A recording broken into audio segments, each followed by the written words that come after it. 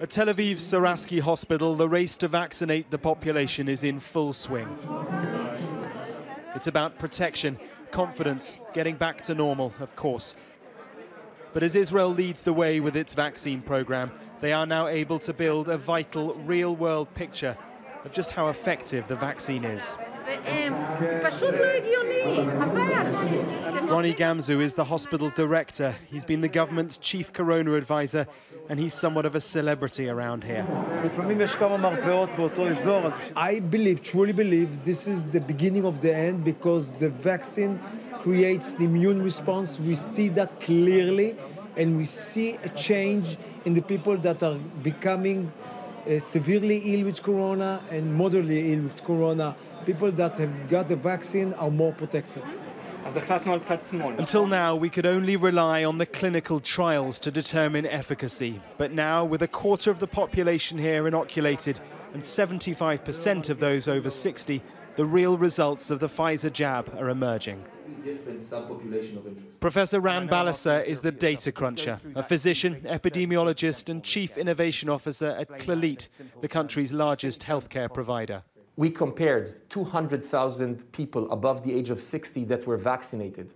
We took a comparison group of 200,000 people, same age, not vaccinated, that were matched to this group on various uh, variables. And then we looked to see what is the daily positivity rate, and we saw that there was no difference between vaccinated and unvaccinated until day 14 post vaccination. But on day 14 post vaccination, a drop of 33% in positivity was witnessed in the vaccinated group and not in the unvaccinated group. It matches Pfizer's clinical trial data, but does raise real questions about the UK strategy for delaying the second dose. The UK government paper justified the second dose delay because they judged that the Pfizer vaccine was 89% effective 14 days after the first dose. That's much more than the preliminary Israeli data suggests. The practice in Israel is to provide the second vaccine at three weeks. So we are following protocol. Would uh, the level of protection um, again, in general and against specific new strains going to be uh, changed if one is not taking the second dose? Uh, all of these are open-ended questions and only time will tell.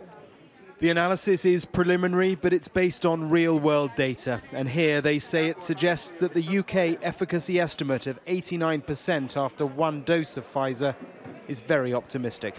Mark Stone, Sky News in Tel Aviv.